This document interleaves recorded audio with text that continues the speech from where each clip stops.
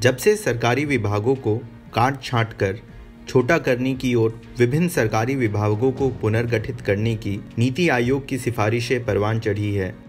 UP के मुख्यमंत्री योगी आदित्यनाथ के लिए उनका धर्म संकट बड़ा हो गया है। इस वक्त यूपी में सौ से ज़्यादा विभाग है और अगर उन्हें पुनर्गठित कर नए अवतार में सामने लाया जाता है तो इसकी संख्या घटकर 55 से संतावन तक रह सकती है। वैसे भी जंबो साइज़ वाले योगी कैबिनेट में चार दर्जन से ज़्यादा मंत्री हैं और एक एक मंत्री के जिम्मे एक से ज़्यादा विभाग है। कोई भी मंत्री अपने एडिशनल विभागों को छोड़ना नहीं चाहता।